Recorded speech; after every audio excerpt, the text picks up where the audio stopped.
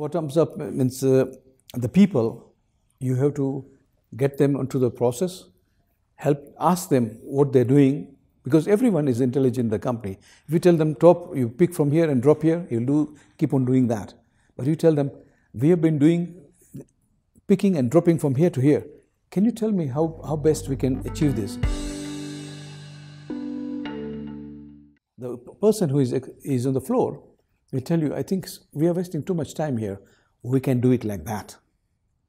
And when you listen to the people who, who have been doing certain tasks, they'll come out with a better idea because it is their task at the end of the day and they want to simplify their own task. So when you give a chance to the people on the floor to improve the task, the first aim is to reduce the task. And that re uh, multiple reduction of tasks sums up to saving of time and increasing volume.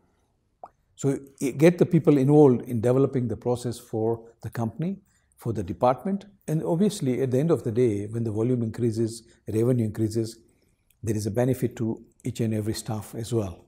So when they see the revenue trickling down, it's, it's a closed loop again.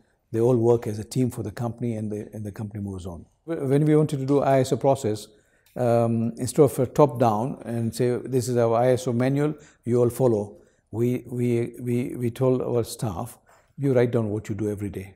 Then each department did a SWOT analysis of what they do, made a simple flow chart for the, each department by department. Then each department we put into a manual and then created a ISO manual, which everyone was a party to it, everyone was an owner, and then the, the, the process was owned by the people within the company. It was not a, a, manual written by the management and say, that's a manual you follow. So uh, in, this, in this situation, all the staff who are involved in writing the process became owners of the process.